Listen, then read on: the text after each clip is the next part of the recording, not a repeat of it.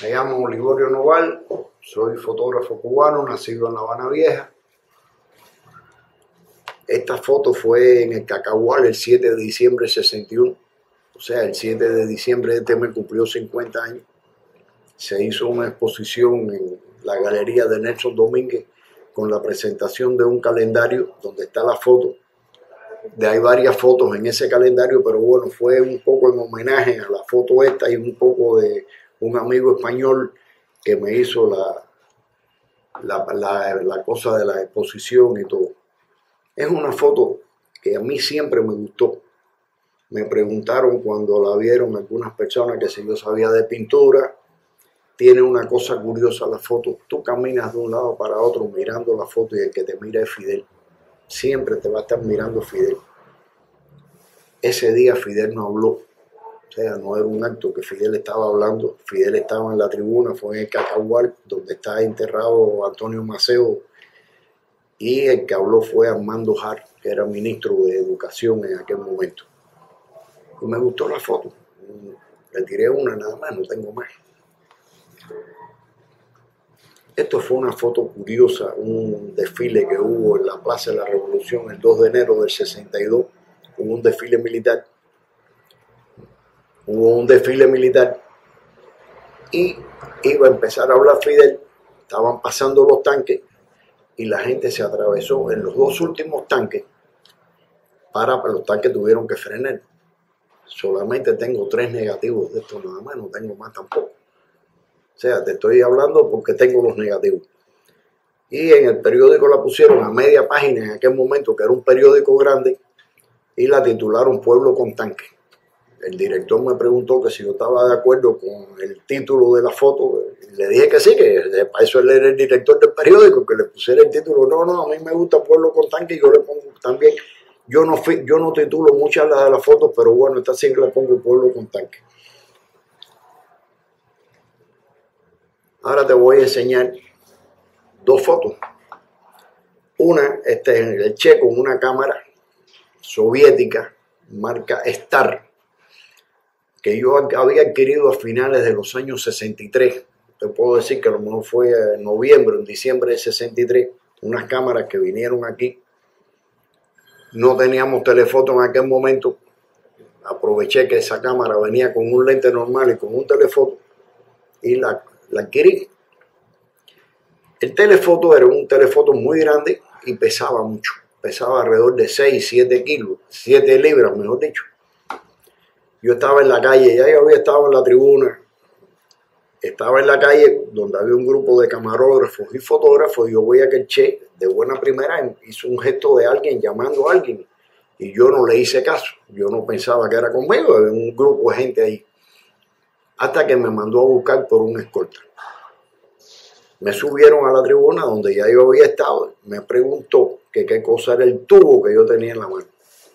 Y el tubo le expliqué lo que era, que era un lente de 300 milímetros, un telefoto con una cámara soviética. Me preguntó cómo se usaba, más o menos le dije cómo era.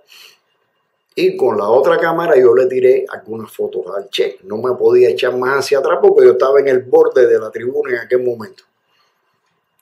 El Che me devuelve la cámara. Cuando yo revelo ese rollo específicamente, me encuentro con que el Che había hecho esta foto de Fidel, que yo la pongo una al lado de otra, la hemos puesto en varias exposiciones y yo la pongo foto Che. Yo no tiré la foto, la tiró el Che. Ya se ha puesto en varias veces. La primera exposición que se hizo en Cuba, en la Casa de las Américas, con fotos hechas por el Che, estas dos fotos abrían la exposición. Eh, se hizo después cuando el comandante cumplió 83 años, hicimos una exposición entre cinco fotógrafos en el Hotel Nacional y como un homenaje al chef fotógrafo pusimos también las dos fotos a la entrada de la exposición. O sea, era un homenaje también a otro fotógrafo que nosotros queríamos mucho, respetábamos mucho y que le gustaba mucho la fotografía, porque a Che le gustaba mucho la fotografía, aunque no le gustaba que lo estuvieran retratando. ¿Y me puedes contar algún otro momento de Che haciendo imágenes? ¿Alguna otra anécdota con otro mm. fotógrafo? Bueno, no, no sé, no. Hay una foto Yo tengo algunas anécdotas que me han hecho amigos, eh, amigos del Che. ¿Me cuentas? ¿Nos cuentas? Y como no te las voy a contar, mira, el Che, por ejemplo, eh, cuando dio el primer viaje por toda América Latina con Alberto Granado, que falleció eh, a principios de este año, hizo muchas fotos.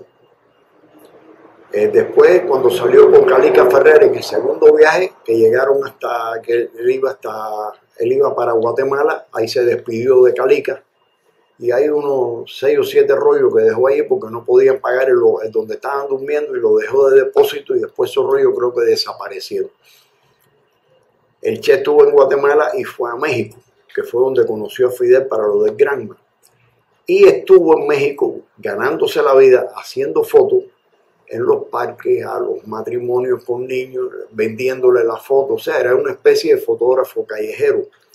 Se buscó un trabajo en una agencia de prensa que hubo unos, unos Juegos Centroamericanos en México y el Che tiró fotos para esa agencia de prensa. Cuando estuvo en la sierra, alguien le llevó una cámara y hay algunas fotos de Che hechas por el Che en la sierra. Hay un libro de fotografías de todas las fotos que hizo el Che, que lo publicaron en Valencia, en España, y que yo lo tengo ahí. Pero fotos, en todos los viajes que el Che se daba, los, los viajes que daba al exterior, él no llevaba fotógrafo, no llevaba prensa. Él llevaba una camarita y tiraba fotos, a lo mejor dentro de un carro, se bajaba, tiraba. Hay fotos de eso. Las demás historias no te las puedo decir, porque no lo sé cómo era. Nunca nos preguntó, sabía que más o menos que no teníamos materiales, pero a mí nunca me preguntó ni nunca me dijo si le gustaba una foto que yo le había hecho o que lo hubiera hecho otro fotógrafo. Eh, a veces nos preguntaba qué película están usando ahora, qué reveladores están usando ahora, pero era, era lo mínimo más o menos. Siempre, era muy afable con nosotros, conversaba, pero no hablaba mucho de fotografía. Esta foto fue hecha en Guantánamo, en el Valle de Caujerí. Eh, Fidel conversando, yo estoy haciendo fotos, es la portada de un libro que yo hice sobre Fidel que se llama Instantánea. Escogiendo la foto con el editor del libro, se decidió que esta fuera la portada. Todo aparece reflejado en las... Y hay- aquí están reflejadas las personas que estaban conversando delante de frente de Fidel. Después de eso, yo te puedo decir que hay una anécdota. Fidel en el 98 en, en Ginebra le dieron una medalla de la Organización Mundial de la Salud por haber dejado de fumar públicamente, y decir que fumar era malo, que le daba enfermedades. Y yo estaba tirándole fotos en Ginebra y diciendo, se me jodió la portada del libro. Llego a La Habana, se lo digo al presidente del Instituto del Libro que había que cambiar la portada. Porque tampoco hicimos el, el libro, lo hicimos sin pedirle permiso a Fidel. Y entonces me dijo, bueno, ya no podemos cambiar la portada, el libro salió para Italia hace dos días y esa es la portada del libro. En el 2000 nos reunimos cuatro fotógrafos con Fidel, Corda, Raúl Corrales, Roberto Salas y yo a hablar solamente de fotografía. Porque a le estaban haciendo un documental, un chicano, le estaba haciendo un documental que se llama Cordavisión. Y estuvimos hora y media hablando solamente de fotografía. Y yo le hice la anécdota, cada uno hizo algunas anécdotas, él nos dijo de cómo, cuándo nos había conocido a cada uno de nosotros, quién conoció primero, quién conoció después. Y yo le hice la anécdota de, de la portada del libro. Él tenía el libro. Me dice, bueno, ¿y qué? Si yo fumaba y me gusta la foto. O sea, que son cosas que, anécdotas que uno lleva, que se recuerda y todo. Esta es la primera vez que Fidel sale vestido de civil después de la revolución. Fue en Cartagena de India, cuando la tercera cumbre iberoamericana.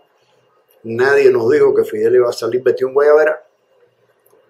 Después nos enteramos que el que era Gaviria, que era el presidente de Colombia, le había dicho a todos los presidentes que fueran con la ropa más, que no fueran con corbata ni con, ni con saco ni con nada, porque había mucho calor, había alrededor de 40 grados de temperatura en Colombia en aquella época. Eso creo que fue en el mes de junio, julio. Pero nosotros no nos dijeron nada que Fidel iba a salir vestido guayabera. Yo estoy encaramado en un, hay una escalera, esa escalera tiene un muro, yo estoy arriba del muro, con un trípode, con un 300, tengo la otra cámara y estoy esperando que los presidentes suban y que lo reciba el presidente de Colombia. Y ya yo sabía en qué orden iban a venir. Vi el carro de Cuba con la banderita de Cuba. Y cuando miro, veo a Fidel caminando. Tuve que dejar la cámara con el 300, salir corriendo por el muro ese arriba de la escalera hasta que se acabó el muro. Me quedé parado ahí. Le tiré dos o tres fotos. Ahí está. Fidel solo. Había comentarios de Fidel que se llevaba chaleco antibala, todo ese lío. Bueno, ahí está hasta sin camiseta y sin escolta y sin nada, caminando solo por ahí. Esta es la llegada de Juan Pablo II a Cuba en el aeropuerto.